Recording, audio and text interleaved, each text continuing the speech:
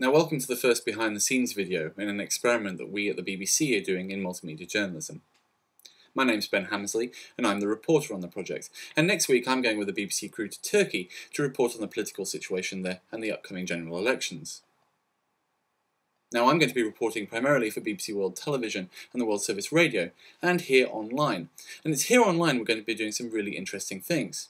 The thing you're watching right now and you can tell this because it's in black and white, is a behind the scenes video. We're going to be making lots of these over the next few weeks. They're going to show you exactly how we find the people we're interviewing, how we get to the cities we go to, how it works within inside a BBC crew, how we edit the packages together, and how we prepare for broadcast.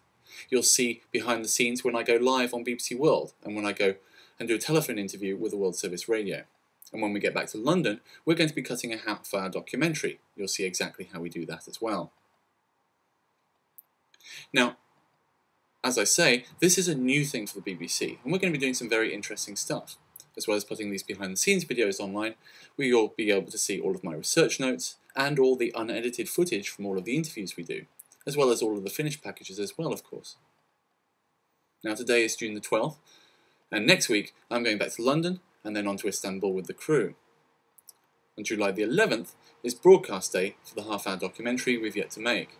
And so today I've got to get on the phone to Istanbul, to my fixer there, where we're going to be organising all of the people we're going to be interviewing. More on that, and how we get on for the rest of the planning in the next video.